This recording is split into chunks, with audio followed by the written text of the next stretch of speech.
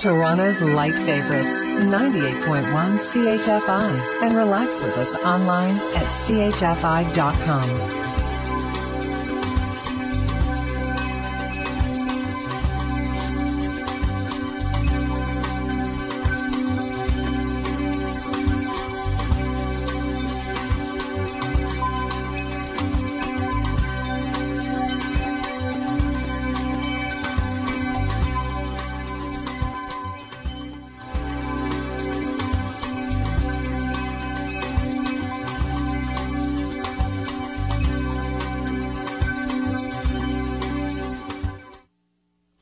heart of the city. This is the soundtrack to what is artificial and what is real.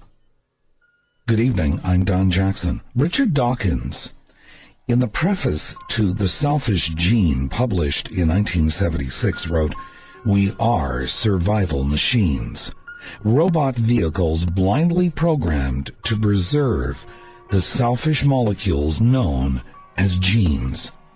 This is a truth which still fills me with astonishment. Richard Dawkins in The Selfish Gene, published in 1976. I couldn't let the month slip by without a mention of two science fiction authors who recent or one who recently passed away, the other back on March the 2nd, 1982. Both dealt with the artificial and the very real in their stories lovers, and other strangers. For 98.1 CHFI. Lovers, and other strangers, Barenaked Ladies, Lovers in a Dangerous Time, and John Mayer, Waiting on the World to Change. Do you like our owl? Artificial? Of course it is. Must be expensive. Very. I'm Rachel. Deckard. It seems you feel our work is not a benefit to the public. Replicants are like any other machine. They're either a benefit or a hazard. If they're a benefit, it's not my problem. May I ask you a personal question? Sure.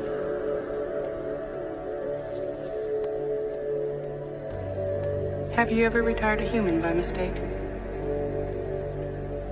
No. But in your position, that is a risk. Is this to be an empathy test?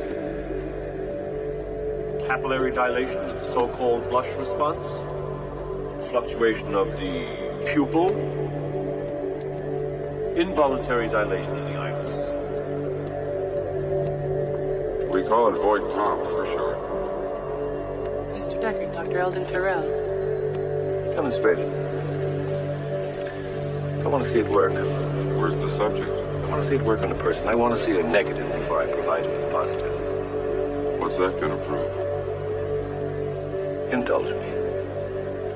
On you? Try her.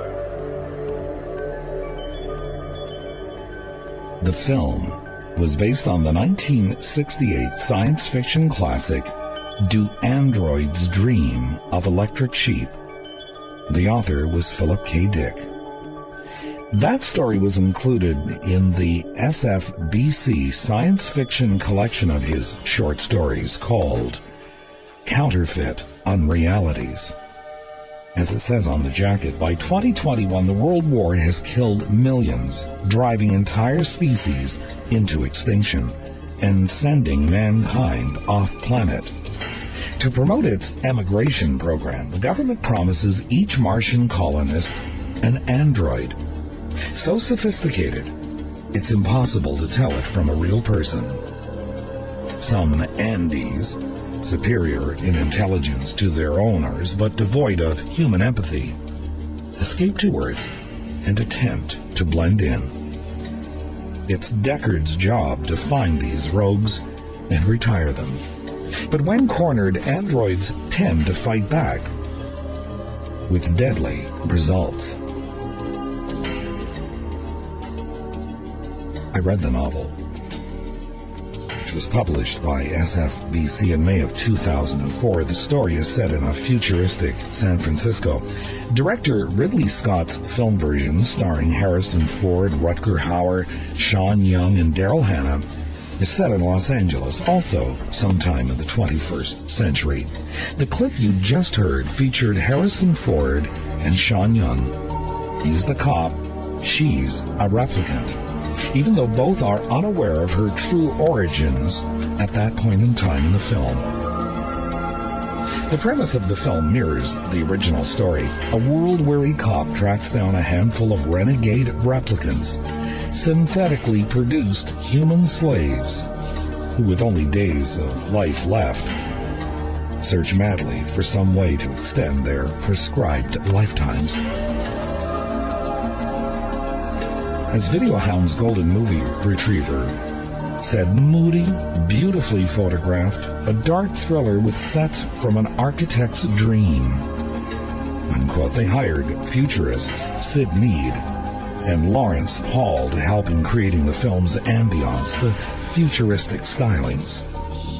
The city, shrouded in darkness after the war, a radioactive rain constantly falling, flying hover cars, up among the skyscrapers, animated billboards that hawk wares, and a population of those who, for one reason or another, have remained behind on Earth, who haven't emigrated to Mars. 2007 marked the 25th anniversary of the film. 2006 marked the 25th anniversary of the death of the author, author rather, who envisioned this dark future. It's available on VHS, DVD. The director's cut eliminates Ford's narration, which I happen to like. The story in the film is really all about telling the difference between what's real and what's not. We don't have to wait until 2021. Human beings today are still having their problems trying to decide what's real and what's counterfeit in their own lives. Lovers, and other strangers. From 98.1 CHFI. Lovers and other strangers, the Supremes with reflections and five for fighting with the riddle.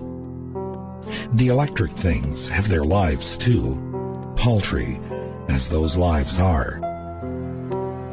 The characters played by Sean Young and Harrison Ford, the male and female leads, are speaking in a hotel room in the original story that Blade Runner was based on. She says, I'm not alive. To which he responds, legally, you're not. But really, you are. Biologically. You're not made out of transistorized circuits like a false animal. You're an organic entity.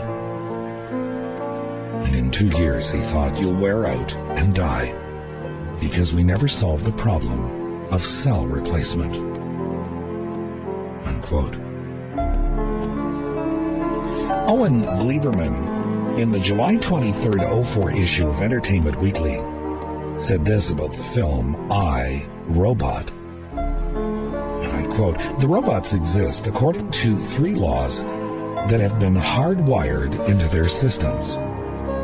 They can never harm a human. They must follow every human order, so long as it doesn't require them to break Law 1.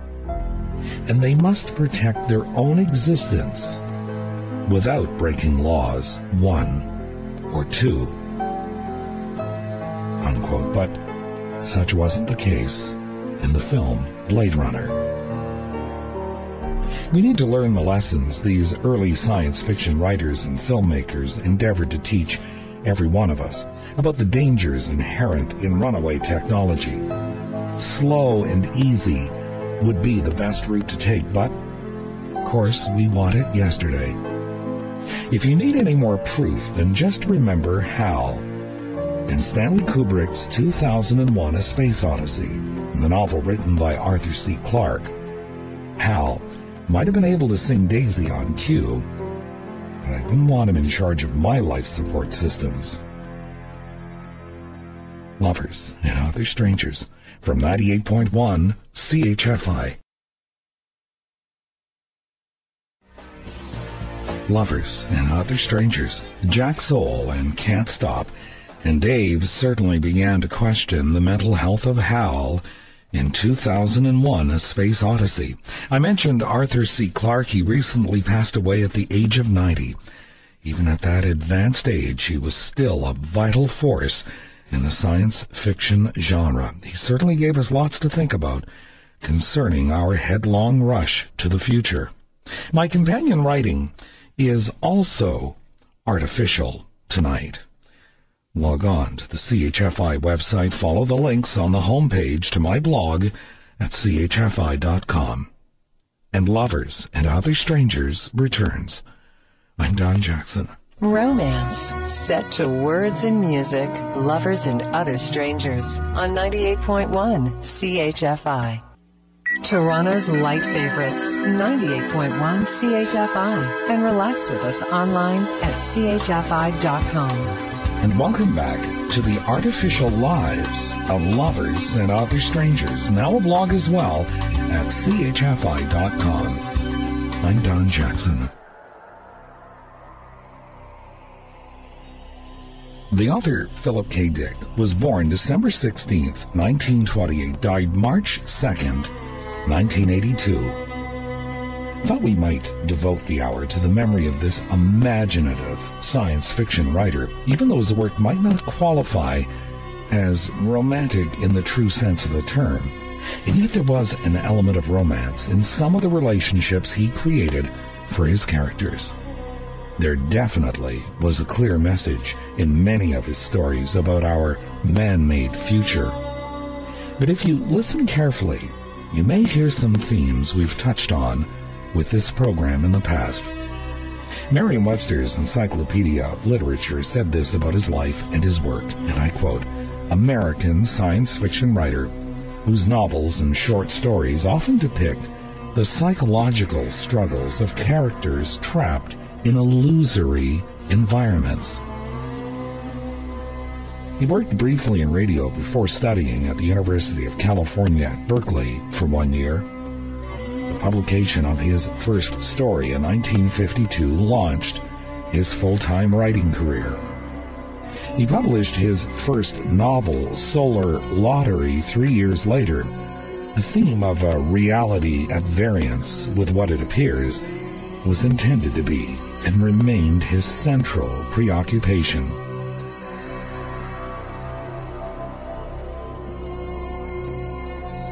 Culminating in Do Android's dream of electric sheep, the illusion centers on artificial creatures at large in a real world of the future.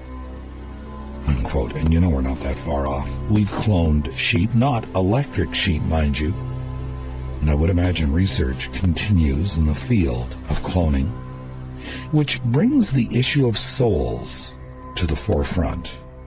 When we make a duplicate copy, does the duplicate have a soul in the traditional sense of the word?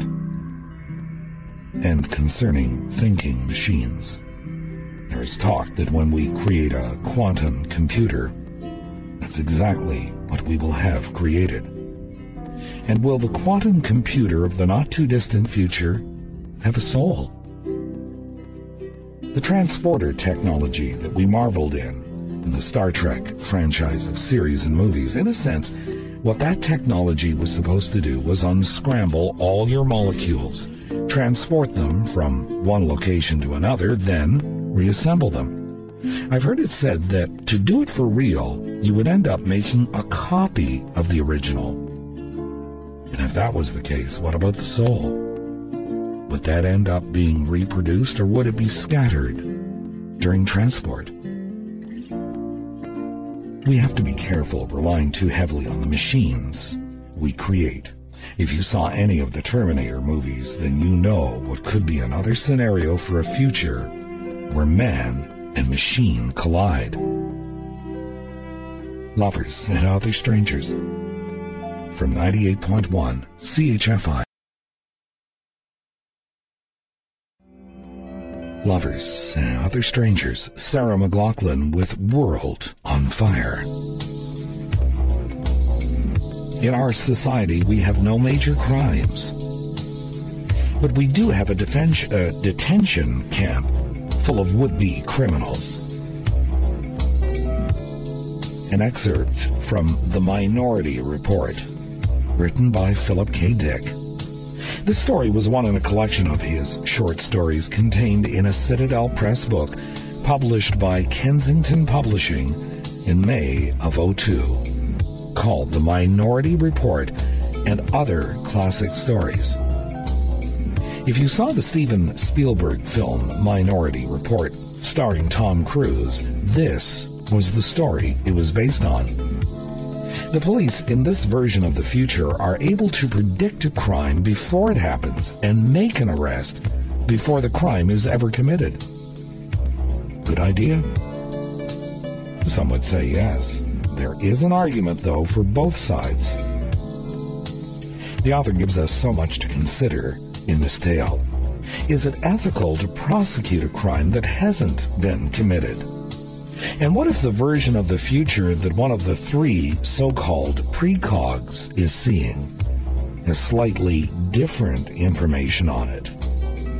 The Minority Report. His stories made us think about where technology is ultimately headed. That aspect was very apparent in the Steven Spielberg film. An implant in every member of society would pick up advertising messages bombarded at them as they passed by stores they've done business with in the past. You get the impression that the minds of this future society are filled with voices that they can't turn off. Tom Cruise's character finds a radical, painful way to become anonymous when he has this implant removed in the film. I won't go into details. But you know, we're not that far away from similar devices. Some current futurists predict a time when you'll have an implant embedded under the skin that you'll wave in front of a reader, like one that scans for barcodes. Instead of having to pay cash or fumble in your wallet for your debit or credit card, all you'll have to do is walk past this reader, and the transaction will be complete. And if you think that is pure science fiction, consider this. Tom Regan, columnist for the Christian Science Monitor, wrote More cell phones have GPS locators, about 20% now, 50% within five years. On one hand, you'll soon see mobile features that will let you track your friends. On the other hand, every time you get too close to a store, you'll receive a coupon on your cell phone that is only good if you come in now. Unquote. Alone with your thoughts won't seem such a frightening prospect in a world where everybody wants in or has found a way in. Lovers and Other Strangers from 98.1 CHFI. Lovers and Other Strangers, Gordon Lightfoot, and If You Could Read My Mind. I read another science fiction novel by the author called Ubik, contained in the collection Counterfeit Unrealities. It featured as a premise that when your loved ones die, they are quickly frozen before all brainwave activity is gone. And at a holding facility, dressed up like a mortuary, grieving relatives get a chance to communicate with their loved ones through electronic means. For those who can't bear the thought of letting their loved ones go, they at least can visit them and communicate with them, but at a very dear price. The more they access the remaining thoughts, the faster the inevitable end comes. Eventually, there will be no more communication. There are only so many times you can speak with the dead in this story you've had a loved one pass away suddenly, then you've probably wished you could go back even one day into the past and say the things you never got the chance to. The story gives us that chance, but we must ensure that we don't waste the opportunity. What that aspect of the story said to me was that we shouldn't waste the time we're given with our loved ones right now, that we should say the words. As it said on the inner jacket of this collection published in May of 02 by the SFBC Science Fiction publishers about the author, Philip Dick may have invented more wildly imaginative creations per novel than any of his peers. An eccentric whose mind danced on the blurry edge between illusion and reality, madness and metaphysics. He produced a body of work that no science fiction reader should ignore. Unquote. He actually believed that he was misplaced in this universe, at odds with the world around him. And in hindsight, maybe he was. But he certainly gave us reason to be cautious. Not to be too enamored about runaway technology. And those who would try to use that technology for their own gain.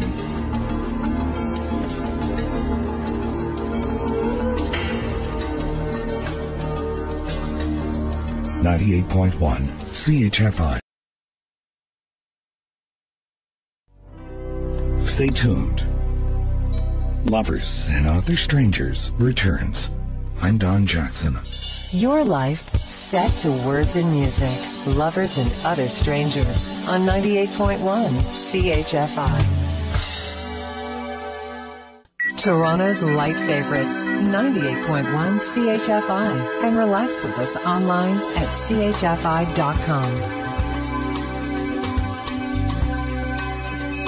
We're in the heart of Toronto, around the world on the internet, and now a blog as well at chfi.com. My companion writing is also artificial. Log on right now to the CHFI website. Follow the links on the homepage to all my blogs posted at chfi.com. Good evening once again. I'm Don Jackson. Jane Goodsell of Press Associates, and featured in the February 93 issue of the Reader's Digest magazine, wrote something called Temptations I Can't Resist. One of her temptations is to, and I quote, feel houseplants to find out whether they're real or not. Artificial. Tonight, lovers and other strangers from 98.1 CHFI. Lovers and Other Strangers, Sarah Slean, that's called Get Home, and Annie Lennox, and Why. Sarah Slean from the album The Baroness. Auden, in The Shield of Achilles, wrote, She looked over his shoulder for vines and olive trees, marble, well governed cities, ships on wine dark seas. But there on the shining metal, his hands had put instead an artificial wilderness and a sky like lead.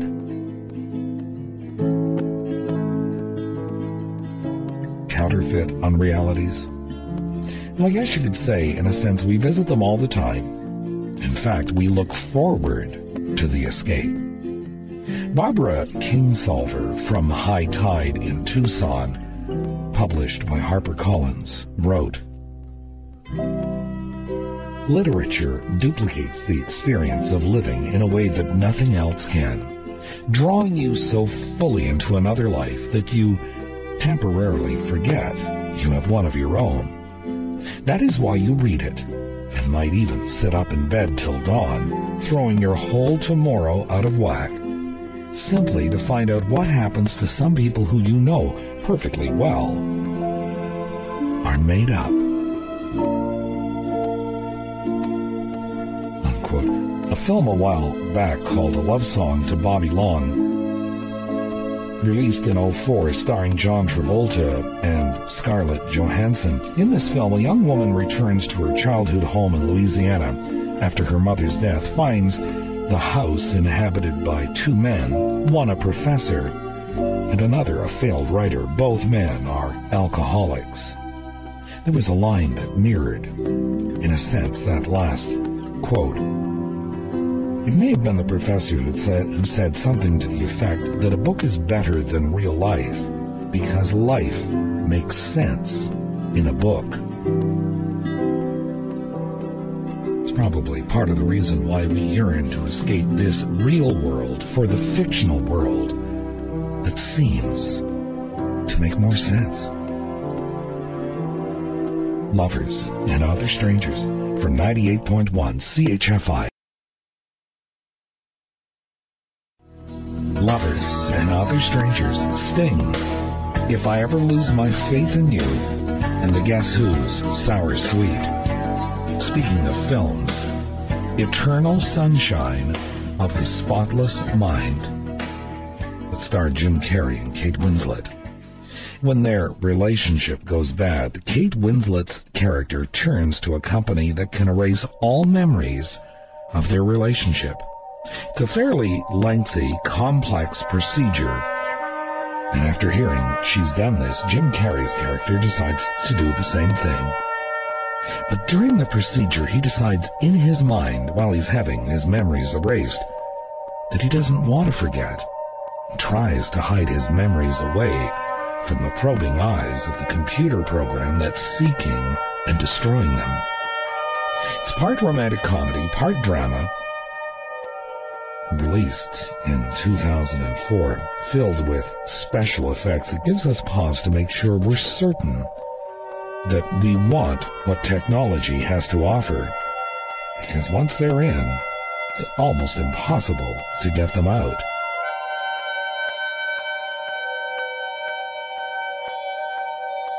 Lovers and Other Strangers from 98.1 CHFI. Lovers and Other Strangers. Sarah McLachlan and I will remember you. My companion writing is also artificial. Log on to the CHFI website, follow the links on the homepage to my blog at chfi.com. And Lovers and Other Strangers returns. I'm Don Jackson. Sit back, relax, and enjoy. This is Lovers and Other Strangers on 98.1 CHFI. Toronto's light favorites, 98.1 CHFI, and relax with us online at chfi.com. And welcome back to the artificial lives of lovers and other strangers. Now a blog as well at chfi.com. I'm Don Jackson. A chilling prediction for the future. Margaret Wheatley from A Simpler Life wrote, I cannot just heave everything I know into the abyss, but I know it is coming. And when it comes, when I've made my sacrificial offerings to the gods of understanding, then the ruptures will cease. Healing waters will cover the land, giving birth to new life, burying forever the ancient, rusting machines of my past understandings and on those waters I will set sail to places I now only imagine. There I will be blessed with new visions and new magic. I will feel once again like a creative contributor to this mysterious world, but for now I wait. An act of faith. Margaret Wheatley from a simpler life. The program tonight is about reality, the reality we create in our minds and the reality of the world around us, the quality of our lives, our hopes, and our dreams. Linda Ellerbee, on her battle with breast cancer from Prime Time Live on ABC, said, and I quote, We human beings are remarkable We plant trees knowing that by the time they're big enough to climb, we'll be too old to climb them. We write constitutions for people who won't be born for 100 years and may not deserve them. And we try to take care of our sick, although we all have a disease we're going to die from, which I think makes us very brave. And in the course of that, we sometimes stand tall and take the time to look at the sun and laugh. I've always felt that laughter in the face of reality is probably the finest sound there is and will last until the day when the game is called on account of darkness. In this world, a good time to laugh is any time you can. Lovers and Other Strangers from 98.1 CHFI.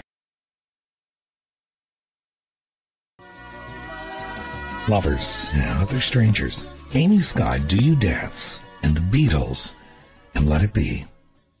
Mark Twain said, I think we never become really and genuinely our entire honest selves until we are dead. And not then until we've been dead years and years. People ought to start dead, and they would be so much, so honest, so much earlier. Words of Mark Twain. There's very little, you know, that we can do in society that isn't directly related to computer technology. It's everywhere. And when they crash, we find out quickly just how much we rely on these things. Maybe we rely on them a little too much. Think about it. It affects every part of your life. And just that fact should maybe give you pause for some concern. My children have never really known a world without computers. We work with machines everywhere. At work, we have complex computers, larger machines for manufacturing what is needed for our society to function. In years past, we were able to leave our work behind us at the end of the day and come home to a house that had offered respite from the working day. But with home computers, laptops, modems, email, the internet, fax machines, we can do most of our work from home or bring some of that work home with us. And there are people who spend most of their lives, their real lives, online in cyberspace they might tell you it's more exciting than the real world we inhabit. That's the one thing the specials in Philip K. Dick's Do Androids Dream of Electric Sheep have a hard time coping with. The loneliness. Part of the reason why the author's humans left behind on the planet gravitate towards something called an empathy box. They don't want to feel so all alone. When we need relaxation, we fill our homes with every time-saving device on the market. Our TV rooms are now just as good as the movie theater with the introduction of home theater. Our lives are intricately connected to the machines we've made. But if you believe the premise of the Terminator movies, we should be careful not to become too reliant on our machines we should be more reliant on each other and strive to strengthen that connection as the special. In Philip K. Dick's Do Androids Dream of Electric Sheep said, you have to be with other people in order to live at all.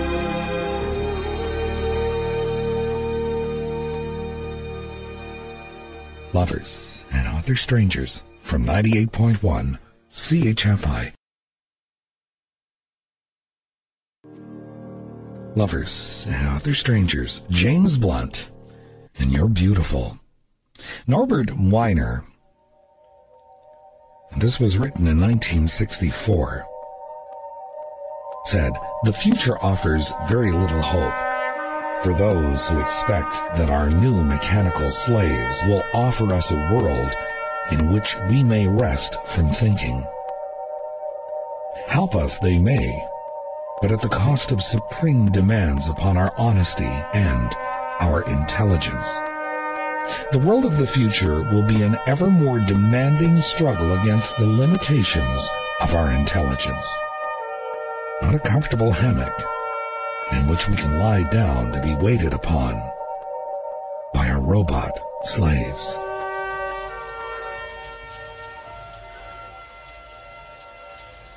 I've seen things you people wouldn't believe.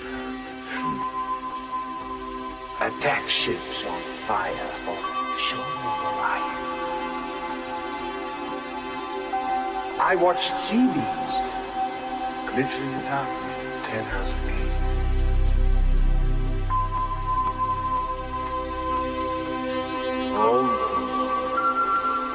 a time. Like tears.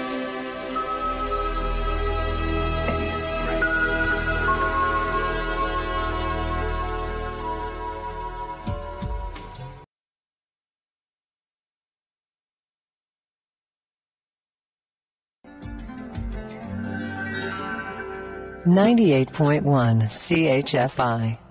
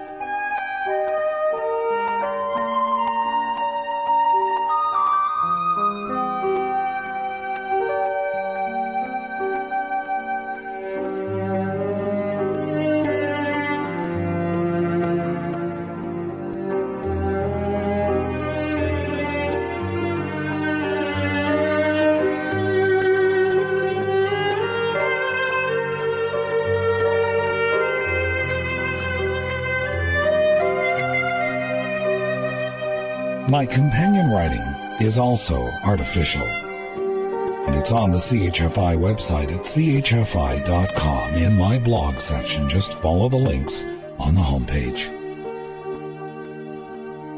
That concludes another chapter of Lovers and Other Strangers. Lovers and Other Strangers returns long after the sun sets. Good night, sweet dreams. I'm Don Jackson. Your life set to words and music. Lovers and other strangers on 98.1 CHFI.